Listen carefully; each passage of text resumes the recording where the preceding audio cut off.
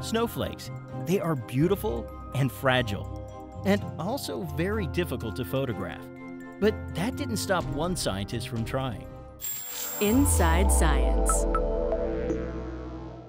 Can you imagine how hard it would be to photograph a teeny tiny individual snowflake crystal? Then imagine the challenges that Wilson Bentley faced back in the late 1800s and early 1900s. Wilson Bentley pioneered in photographing snow crystals, snowflakes, and raindrops. He was a farmer by trade and a scientist by passion. When snowflakes are falling by the billions from clouds, through photography we can freeze that motion, uh, understand how fast it's falling, how those snowflakes might be connected to the cloud itself and the nature of the storm. Photography allows us to see things that are beyond normal human vision. Bentley took what are called photomicrographs that were detailed pictures of snow crystals. A photomicrograph is simply connecting a camera to a microscope so that you can get very detailed close-up pictures.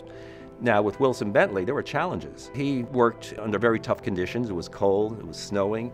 He had to collect these snow crystals on a little black board, take them into his unheated woodshed to photograph. He had to transfer that snow crystal from the board to the microscope slide, which is a very delicate process. And he used a little, initially, little uh, sliver from a broom, his mother's broom, to get that onto the slide. He even had to kind of jerry rig a focusing knob, a string running to the microscope because he couldn't reach it. So he turned this little knob and he used that mostly throughout his whole life.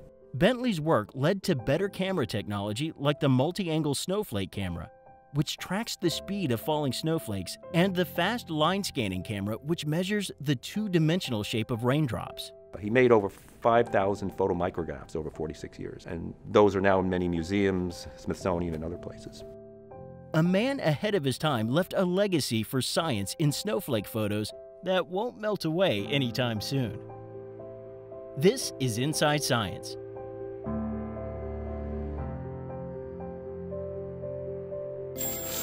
Inside Science. If you enjoyed this edition, follow us on the web and social media. Powered by the American Institute of Physics and a coalition of underwriters.